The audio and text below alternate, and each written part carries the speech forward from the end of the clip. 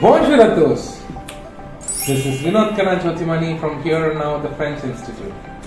I'm here to give you another interesting facts about France. The oldest person ever lived was a French woman, and her name is Jeanne Louise Calment. She was 122 when she died. Europe's highest mountain is Mont Blanc in the French Alps. The world's first artificial heart transplant and face transplant took place in France. The French eat more than 30,000 tons of snail every year. The world famous croissant was not invented by French. It was invented in Austria in the 13th century. Interesting, isn't it? To know more about French facts, please subscribe our channel. Merci.